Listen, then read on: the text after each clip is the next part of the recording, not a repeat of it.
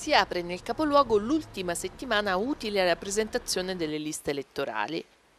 Si conta che saranno circa 900 i candidati per i banchi di Villa Gioia, tra questi sette aspiranti a sindaco.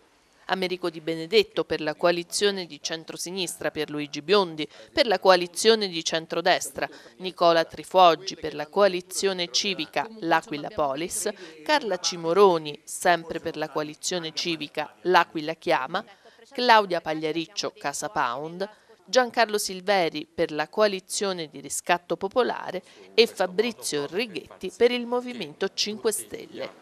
Già solo nella giornata di oggi sono state presentate due compagini elettorali rappresentative di quella che non sarà un'elezione del nuovo Consiglio Comunale molto scontata.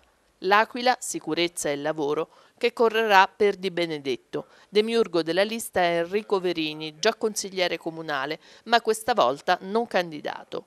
Ha presentato poi la sua candidatura anche il Partito della Rifondazione Comunista, al quale saranno legate tre liste.